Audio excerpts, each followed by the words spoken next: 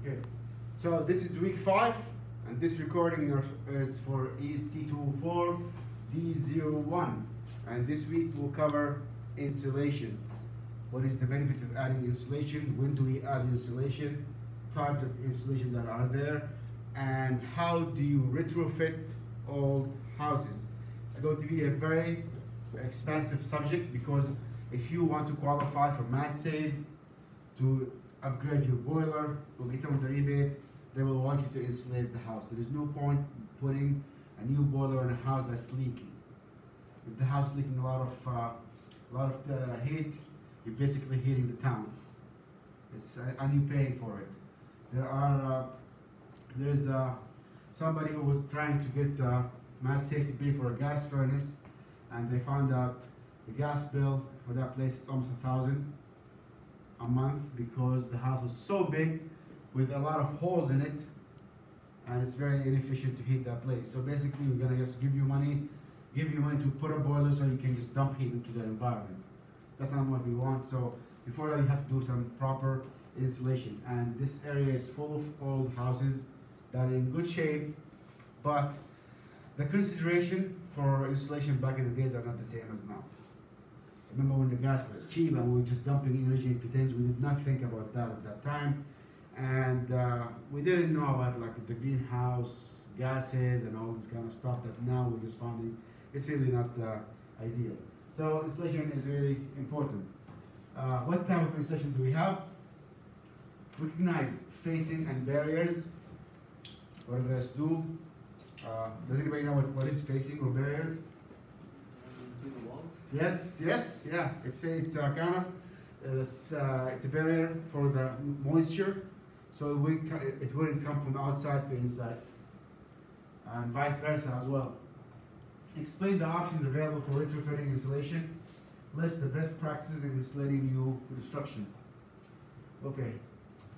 So insulation, three to six times the heat loss than infiltration is losing heat through walls. Insulation reduces transmission losses by increasing the R value in the old equation. And one of the homework I did ask you about that. And if you look at the old equation, it's uh, area times U times delta T. I would say U is one over R total. And the, so, in another sense, if you're a little bit mathematically inclined, A times delta T over R, it's another form of this equation, because this also means area times one over R times delta T, don't let the math scare you, just by looking at that as a ratio. The bigger the R, if I increase the resistance, what happens to the heat transfer? Increase or decrease? Decrease. Huh? Decrease. Decrease. So the more you increase the resistance, you will decrease the, so if this goes up, this goes down. And that's what we want, right? We want to decrease the heat loss or heat transfer to the wall. Whether it's uh, heat loss or heat gain. In the summertime, it's also not really good. If you're touching the wall in the summertime and it's really hot, you know you, you're really gaining a lot of heat. So you gotta do something about that. Otherwise, you're gonna put 12, one ton, two tons, and you get not much cooling. And again, cooling is heat removal. We said heat is the thing, and the anti-heat is cold. So we're just basically removing heat with a bucket and putting it outside using a heat pump. Okay, provide uniform temperature through a surface. That's another benefit of having insulation.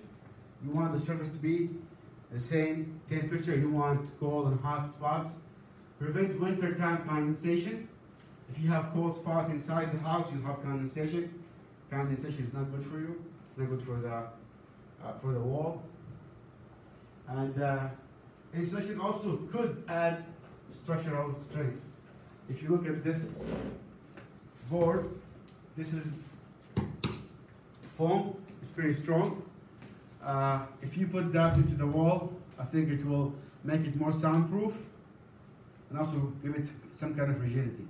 So it's good really for walls in some cases.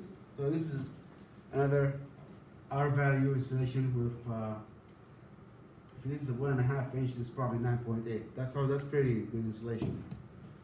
Uh, usually they put these inside the hollow wood doors like this one.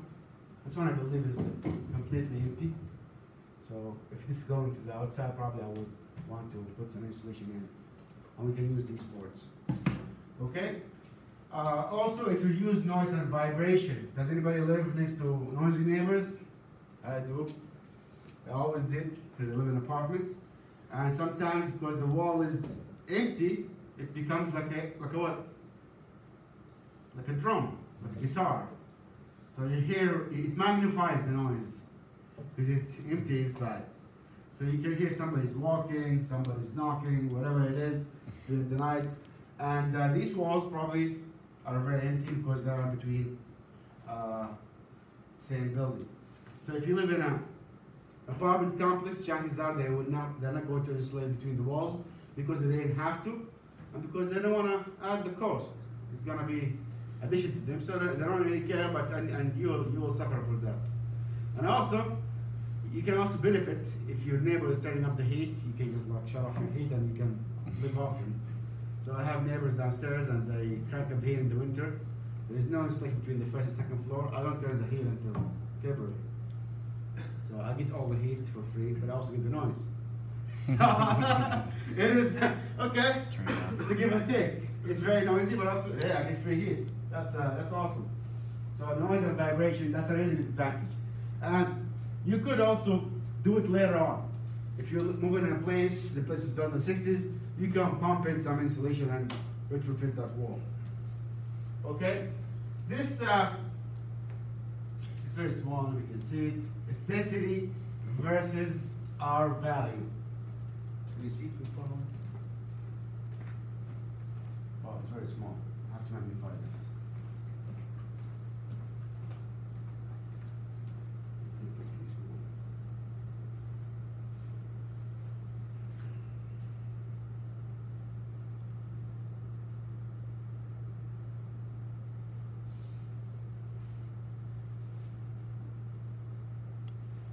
Okay, a little better.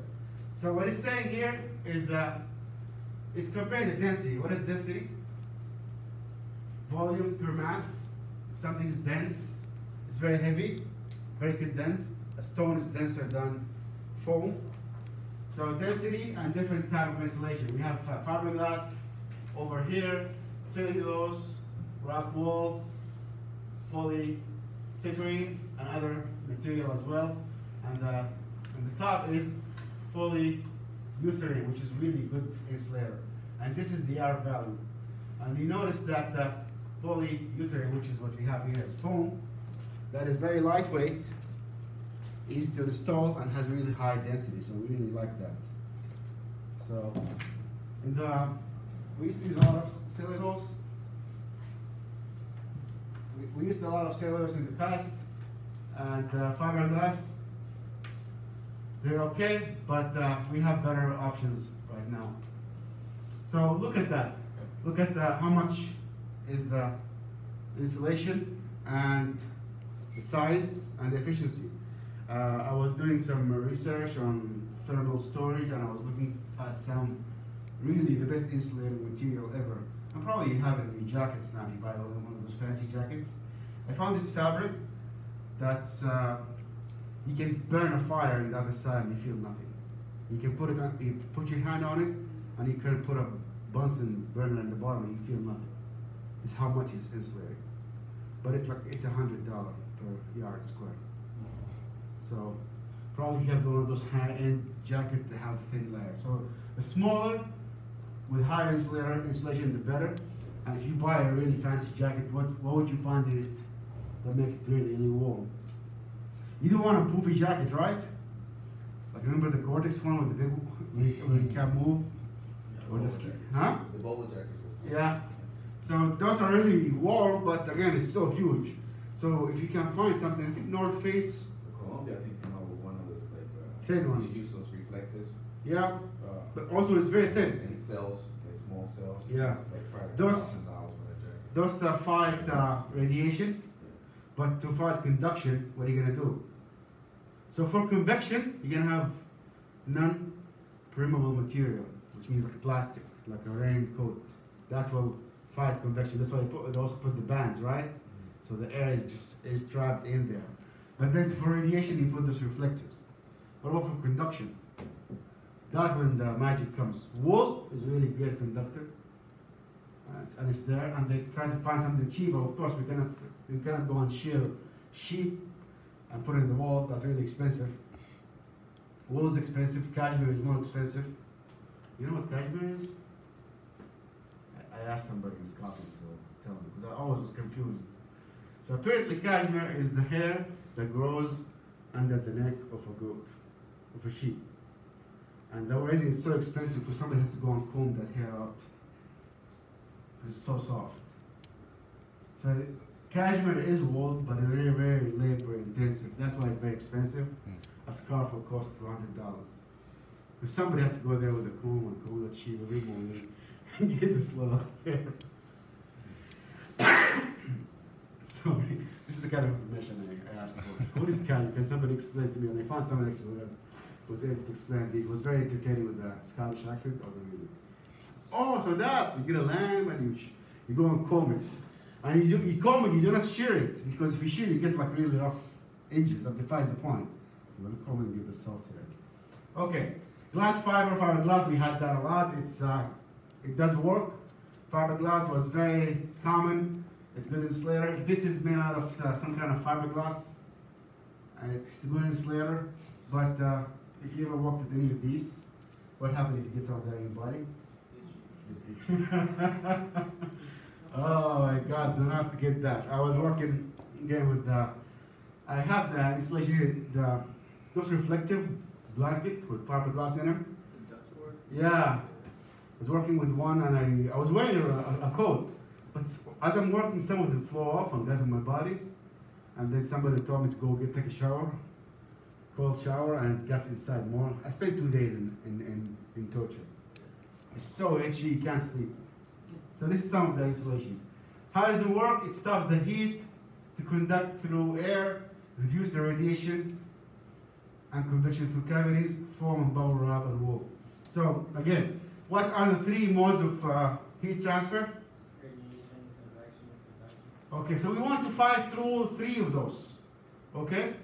So look at this little piece of uh, board over there. If you notice, it's reflective. So whatever hits it will go back. So we fought against radiation.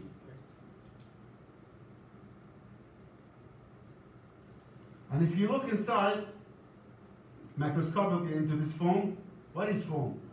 Foam is material with bubbles in it. And bubble is air. Okay, it could be something else.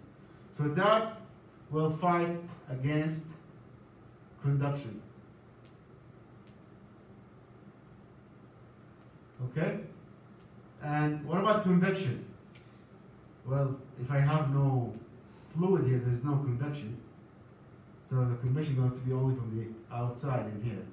So this will give me no convection because it's completely full of material. It's solid. There are some air bubbles inside microscopically, but they are trapped. They are not moving.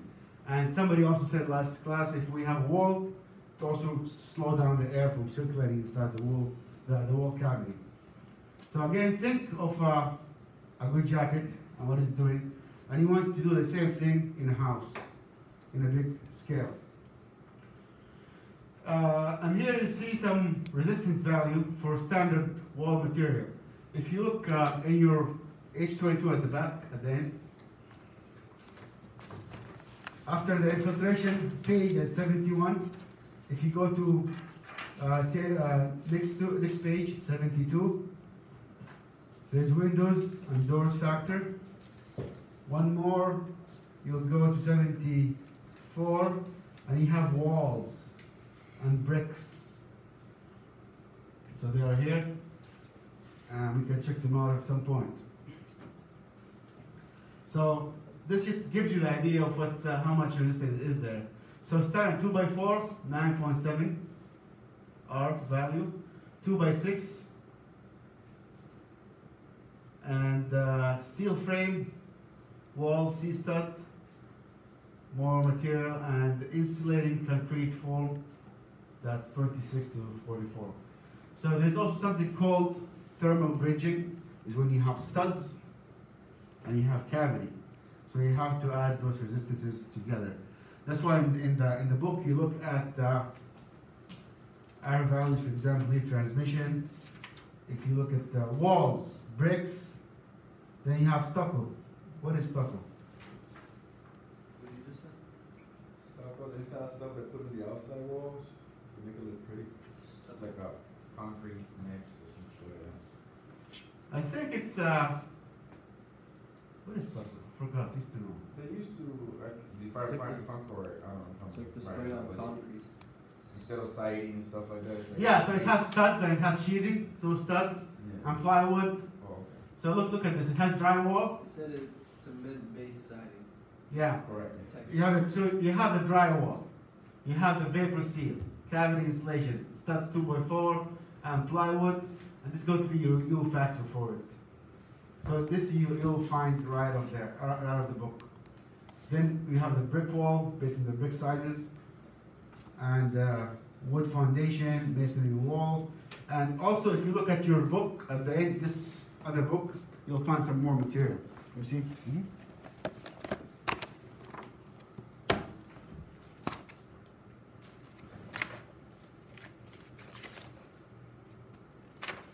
If you look at page, uh,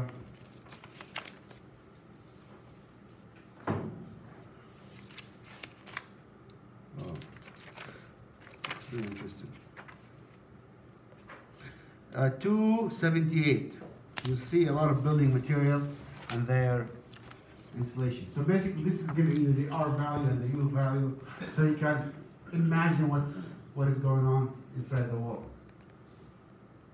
Okay. We'll move on a little bit. So this is the wall. This is a stucco wall with the R value, siding, sheathing. So you want to put some kind of a barrier so the vapor does not go in and out. And see drywall from the inside and steel studs or sometimes two by fours and this cavity, which is in a lot of cases, by the way, these cavities are empty. There's nothing in them. And uh, my house was built in the 1920, and when they came to, do the installation, they, they said, by the way, the walls are empty. There's nothing in them. So they had to do a lot of blown insulation, which is the cheapest way to do it. Thermal bridging. So what, what is meant by thermal bridging is the heat transfer from this stud is going to be faster than the cavity. You agree? Because this is solid steel, steel is a good conductor, so you'll see a lot of uh, heat loss from the from the studs than the cavity. That's why some of those studs they have their own insulation, and that's why they give you the wall factor as combined. They add those resistances in parallel, but we're not gonna deal with that now. We just got to the wall as is. Okay, common R value per inch, fiberglass, cellulose blown. And I think this is, uh, is gonna be in the homework, so check this out. Wall batts, batts are actually kind of like, a, uh, blankets. Vermiculite or perlite, those are kind of, uh, popcorn material, kind of tough and hard. They are really good insulation, and they do put these with the cement. So they mix them with the cement to make the cement more insulating. And I know in the South America and in hot climate area, they use brick and they put foam inside the brick to insulate because brick is really good in storing heat and conducts a lot. Why we have brick oven. It's really good storing heat, and that's something you don't want in a house when it's so hot outside trying to cool. Okay? So water insulation, water filling the airspace. So this airspace that we depend on for insulation is becoming water now. Water is more conductive than air. You agree? So you don't want that. It could reduce, so water can reduce your uh, insulation value. Water when it drops, it's gonna become ice. And what does that do? What does ice do? No. That's true, and what else? Expand. Yeah! What happened when it expands? You ever put a bottle of water in the freezer? It breaks, you ever put a bottle of wine in the freezer? Or leave a bottle of wine in your car? It expands and breaks, so it will increase the cracks in concrete. You don't want to have cracks because the water will get in, water will stay in, then it gets too cold, then it will break. One of the problems we face in this area is freezing water. We use hot water to circulate around the house, and if you don't heat the house properly, or they have a cold spell, all the pipes will burst because they crack. And I was talking yesterday to somebody who bought a, a house who that doesn't have an adequate heat system, and they have three zones. And he was saying uh, he just bought the house. He said, uh, "Well, if it doesn't work, or I know one one zone work very well, so I'll just stay in one zone and not, not care about the other." I told him, you, you understand that if the other two places are cold, they will freeze and all the pipes will break. He freaked out. Yeah, that's something you have to take, a, take care of now. You can't do that. What, what, what can you do though? They just got insulated pipes, most like, a lot of guys, the cheapest things is they do insulated pipe in the. Yeah, or not the basement, other room, like second floor, or the other section of the house. What you can do, is put a space heater in there for now. you could. that's very expensive. Yeah. Space heater, the little one, from for twenty bucks, that that runs you at least three dollars a day to run it. Yeah, They run what? I didn't hear that. the little space here, it costs you three dollars to run a day. So in a month, it's gonna be like uh, around ninety bucks to run that little. Yeah, I try- I don't know, I'm surprised Temp- to seal all the doors and windows and the other areas that he's not using. Yeah. At least trap some of that heat Fix the two inside. zones. Yeah, huh? Fix the other two zones. That, that one option. That'll be the ideal one, right? That's one option. What- What else? Come on. Get a blower, Huh? blow that, blow the heat around the house. Yeah, but you can you gotta dilute the heat. So, Yeah. Open up the Yeah, doors but at so that you make it air from the other zone can get around. Cause Yeah. then, if you can't, Think a little bit. throw a coat on there, on the pipes. You could install the pipes, yeah, that's a good idea. What else? You're afraid of the water freezing. What can you do? Don't turn it off. oh, fix No more else. water. But that's, that's, that's what they do here in the winter. Yeah. You got dry hydrants for a reason, because they don't want the water inside the hydrant. Uh huh. So you drain. Most of those valves have a drain. Yeah, you winterize that house. You you, sh- you shut it off and you mothball it. Drain all the pipes and you're good to go. I have an attic that has a bathroom and no heat.